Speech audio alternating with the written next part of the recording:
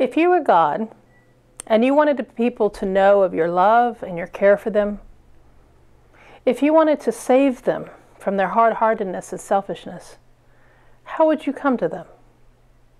I think most humans would come with power or a well articulated reason, something intellectual perhaps, or maybe compelling. We would come with, an ability, with a desire to convince and cajole people to do what we want.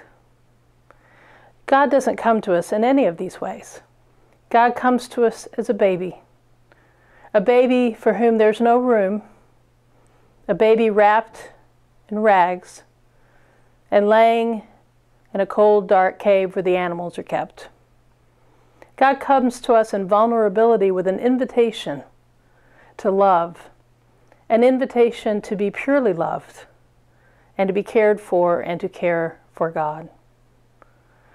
This Advent season and this Christmas season, I hope that you will join me in considering the ways in which we offer that same gift to the world, not with our power or our well articulated arguments, but with our care and our compassion and our own vulnerability and our willingness to receive and to give love, the purity of love. It isn't really about the gifts or the gatherings, it's about the relationships. The relationships that inspire us and embolden us, the relationships that heal us, and yes, the relationships that may challenge us.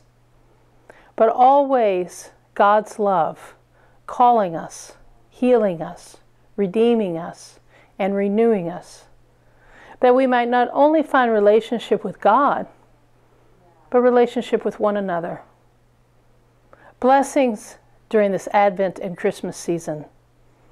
May the redeeming and vulnerable love of God heal you and inspire you and lead you on.